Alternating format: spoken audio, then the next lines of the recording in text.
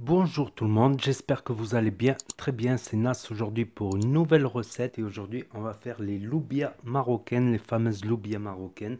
Donc loubia en marocain ça veut dire haricots blancs, les haricots. Donc c'était une des premières recettes que j'avais appris, donc elle n'est pas si compliquée que ça, franchement le plus dur ben, c'est à hacher les oignons en petits morceaux. Enfin un petit oignon, un petit demi-oignon pour deux personnes.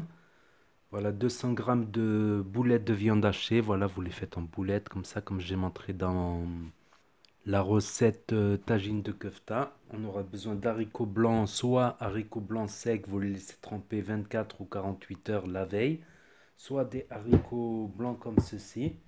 Donc du paprika, de l'ail semoule ou de l'ail euh, fraîche, de l'ail fraîche, mais il faudra prendre un petit morceau et le hacher du cumin, du poivre noir, du sel, du coulis de tomate et de l'huile de colza.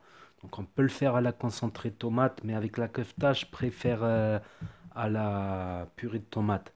Franchement, on peut le faire aussi à l'agneau. À ce moment-là, ça passe le concentré de tomate quand c'est avec l'agneau.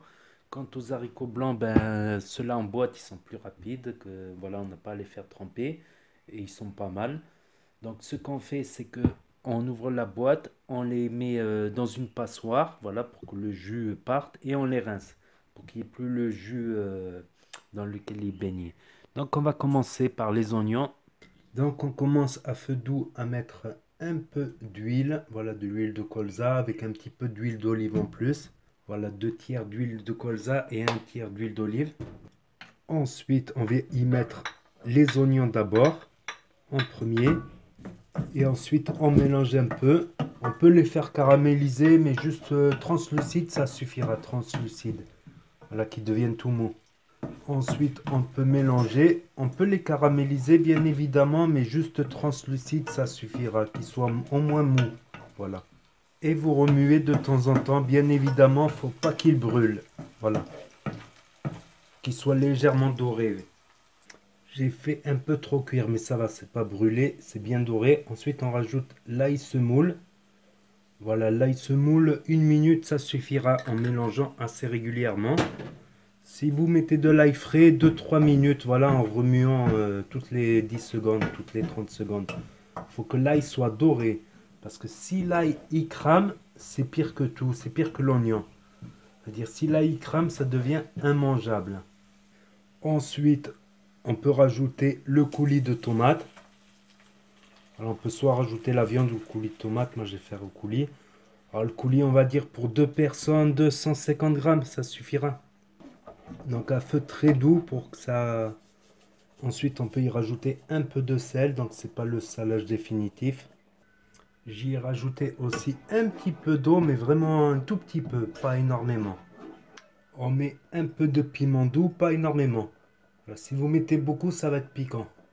Et du cumin, et en général, j'ai la main lourde sur le cumin. J'ai la main très très lourde pour le cumin. Et ensuite, on mélange bien le tout. Et on recouvre voilà, pendant 2-3 minutes.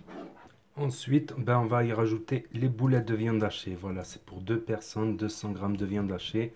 Si vous faites pour 4 personnes, ça va être 400 grammes ainsi de suite. Ça se fait aussi à l'agneau, ça peut se faire à l'agneau également. À ce moment-là, je privilégierais plutôt le concentré de tomate que le coulis.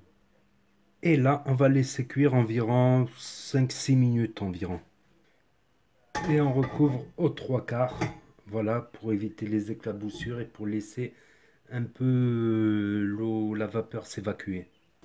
Une fois que les boulettes elles sont cuites, voilà, on peut commencer à rajouter les haricots blancs tout simplement que j'ai lavé dans la passoire. Et ensuite là c'est presque prêt on va dire 5 minutes 10 minutes plutôt une bonne dizaine de minutes de cuisson. Je vais y rajouter quand même encore un peu de sel. C'est pas le salage définitif. Le salage définitif il sera dans l'assiette. Et j'y rajoute un peu plus de cumin encore et on mélange un petit peu et on remue un petit peu de temps en temps.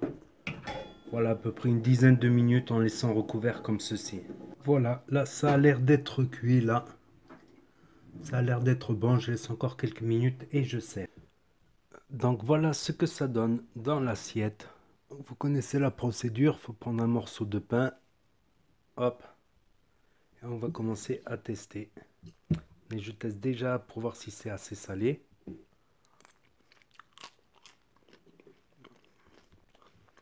J'ai resalé entre temps.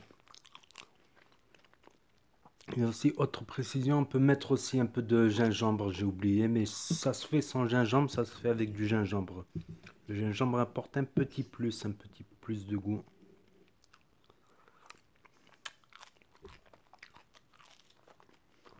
Excellent.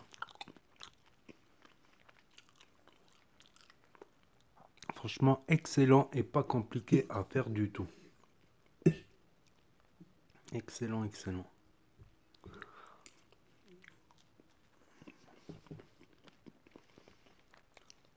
Et vraiment simple et rapide.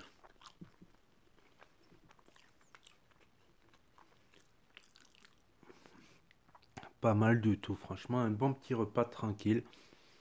Donc euh, si vous avez essayé cette recette en entier, ben, n'hésitez pas ben, de mettre un commentaire pour me dire ce que vous en avez pensé.